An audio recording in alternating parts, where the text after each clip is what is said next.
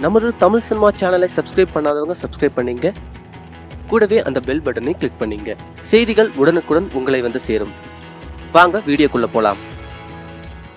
ஹைதராபாத்தை சேர்ந்த இளைஞர் விரைவு ரயில் வரும்பொழுது தண்டவாளத்தில் நின்று செல்ஃபி எடுக்க முயன்றதில் ரயில் ரயிலில் அடிபட்டு மருத்துவமனையில் அனுமதிக்கப்பட்டுள்ளார். அந்த இளைஞர் பெயர் சிவா. அவர் கடந்த மூன்று நாட்களுக்கு முன்னர் பாரத் நகர் ரயில் நிலையத்துக்கு சற்று தொலைவில் ரயில் வந்து கொண்டிருக்கும் பொழுது தண்டவாளத்தில் அருகே நின்று செல்ஃபி எடுத்துள்ளார்.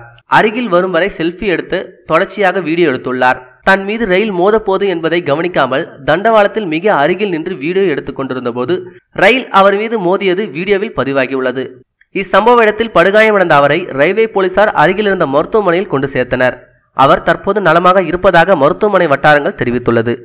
மேலும் இதுபோல செய்திகளுக்கு லைக் மற்றும் சப்ஸ்கிரைப் செய்யவும்.